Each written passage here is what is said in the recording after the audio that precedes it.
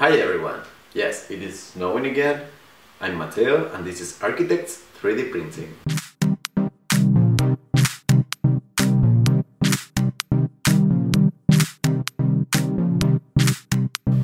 In the last episode, we started the assembly of the CTC Prusa i3 that we bought from the internet. And at the end of the video, we could have a 3D printer that was almost completely built with the lack of the carriage and the cables. The first things we're going to install are the Z-axis, the X-axis and the carriage. And then we'll finish with the cables. Let's get started with the Z-axis. To install that, we will need the two threaded rods, the two smooth rods, and those two pieces of wood that will go here and here. And to fit everything in place, we'll need again 4 nuts, 4 screws and 4 washers. The first step will be to take the two threaded rods and insert the flexible part in the motors. Once we have the threaded rods in place, we have to take the smooth rods and insert them in the holes. And now second.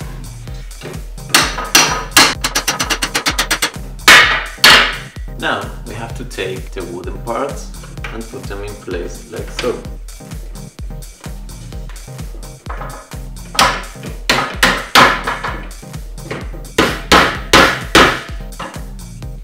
To install the bridge, before we have to put in place these two pieces through the smooth rods to the bottom.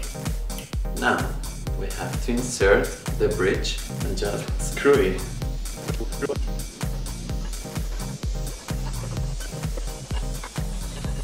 to try to maintain more or less the same distance between the two screws.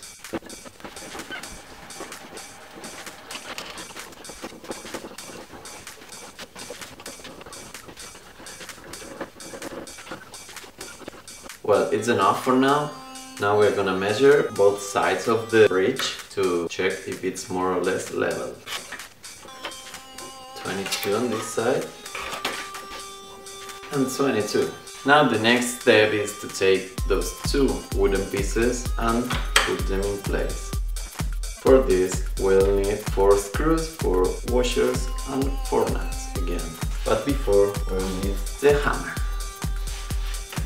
Put the threaded rod in place and then... And now we have to do the same in the other side.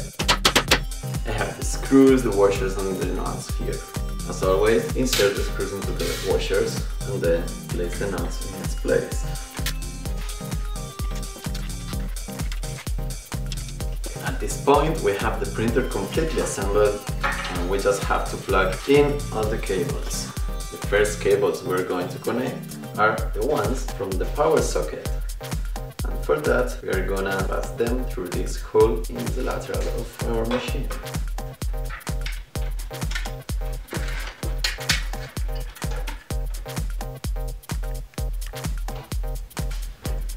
Once we pass the cables, we are going to connect them here in the power supply. But before, we have to prepare the screws. The first one, we have to connect the yellow to the third pin.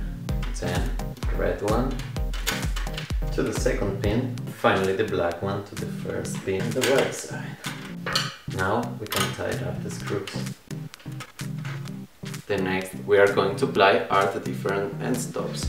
We have one here for the y-axis, the other one is here for the x-axis, and the other one is here in the bottom for the z-axis. The order of the connectors is X end stop, Y end stop, and Z end stop. So we're gonna start with the red one, that is the X sensor. We're gonna plug it here. The next is the blue one. So we're gonna do the same and connect it to the third pin. And finally the Z stop goes here. The next and last part we're going to install in the printer is actually the nozzle and it goes right here. But for that we need before to disassemble it in order to connect it to the carriage. To disassemble the nozzle, we first have to remove these two screws that are placed in the bottom of the fan.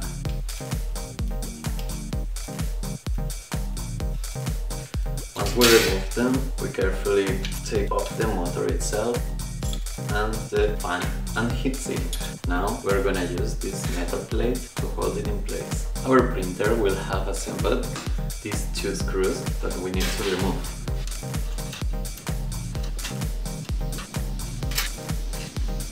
We're gonna take the metal plate and put it in place. In our case, we're gonna use the two holes in the bottom in order to be able to print higher pieces.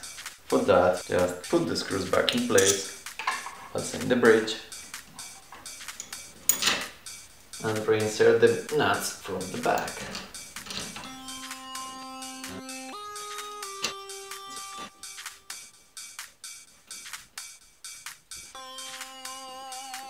Now we just have to put together the extruder again. First we insert the screws of the fan and then we put the motor in place.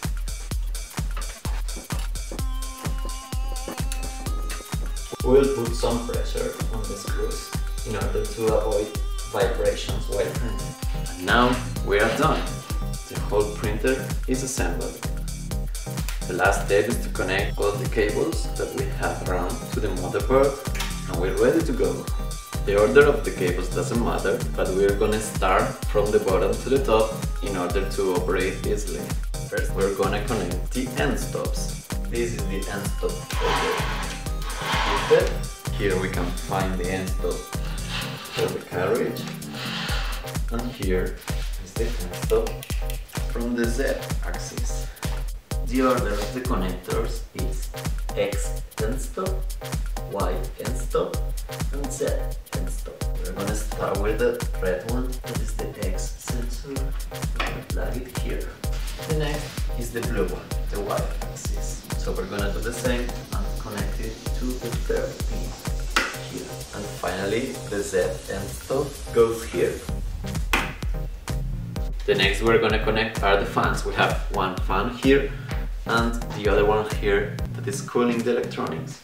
So first we'll take the cable of the extruder fan and we will connect it to here.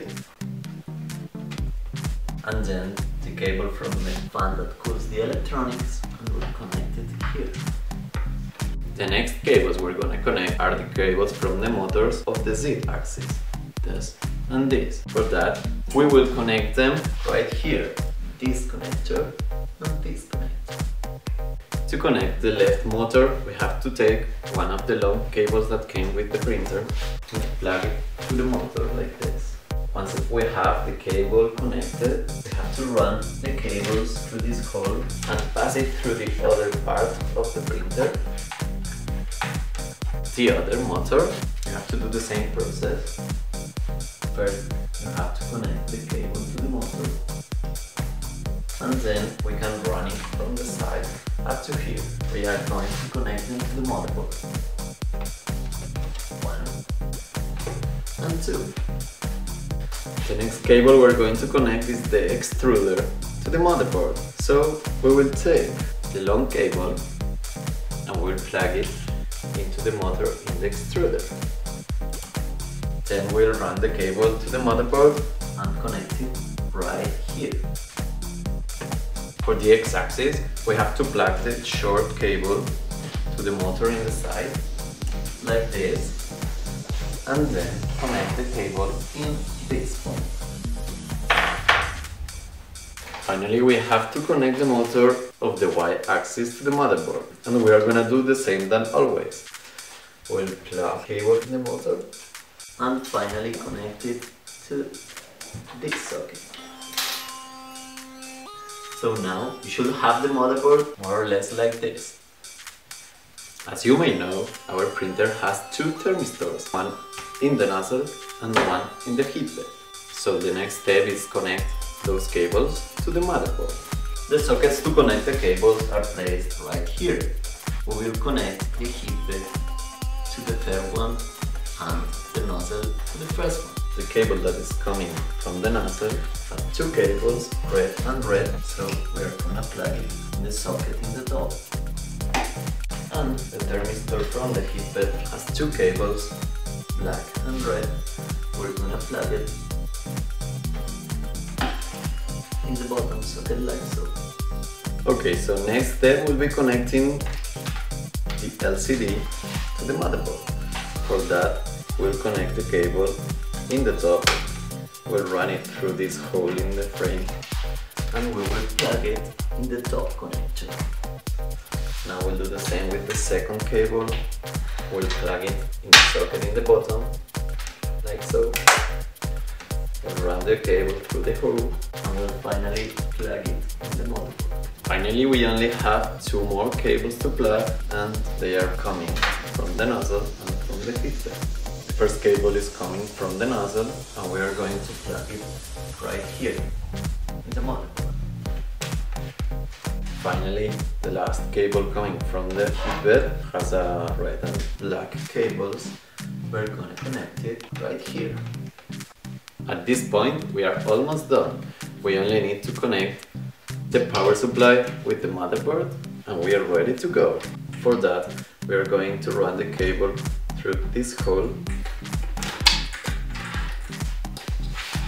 and also this hole so we can reach the motherboard one side and the power supply from this side. As before, we have to connect those plugins to the power supply.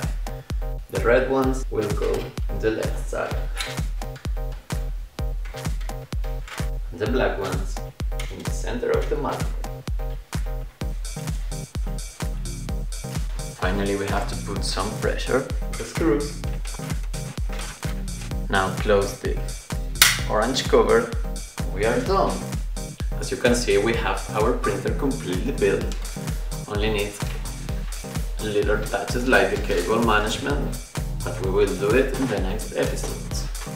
If you like the video, please don't forget to click the like button and feel free to leave any comments if you have any questions or any suggestions about the video. You can also consider to support me on Patreon to keep making it possible if you want. Forget to subscribe to the channel on YouTube, as well as following it on Twitter or Instagram as Architects 3DP. See you on the next video.